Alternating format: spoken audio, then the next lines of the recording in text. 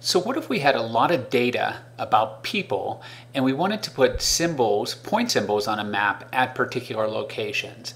How could we put a whole bunch of information into one point symbol?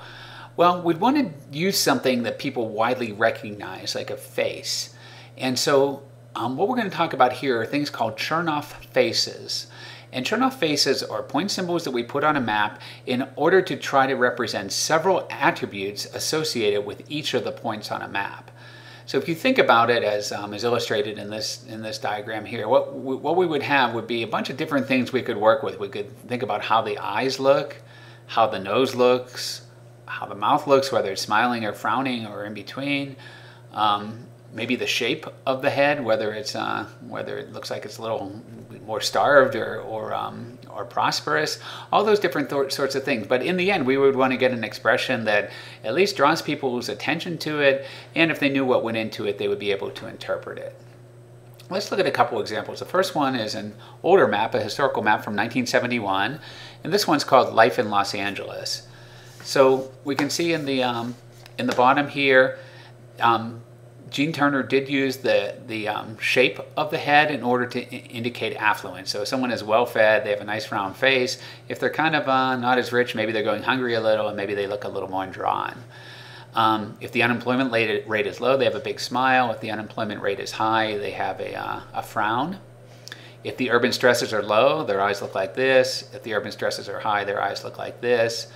And then um, the proportion of white population. So the areas with higher white population are a lighter um, a lighter color here, and the areas uh, with um, lower with lower white population are darker. And then over looking at the map for all of these places around Los Angeles, we can see a lot of these variations where the very happy areas are, and um, and where there's a lot more uh, a lot more stress or concern throughout these areas. Um, a similar map of Chernoff, face, faces was recently made for um, London. And this one's interesting because it's almost more like a graphic. Um, these, uh, these various places in London are not meant to represent exactly where they are in London, but they're, they're concentric circles, maybe showing how far they are from the, uh, from the London average in the middle here. In this case here, the, um, how satisfied they are is kind of like a little halo around them.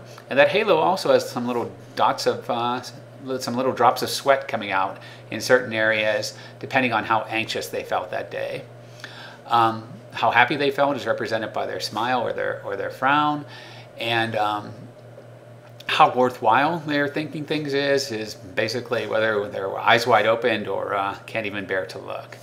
So in these examples here, you know, once again, we're able to symbolize um, four different attributes onto a map with each point representing one location by making it into something that's easily recognizable by people and um, and basically evokes sort of a response from them as far as uh, being able to understand how those people are feeling in these particular areas.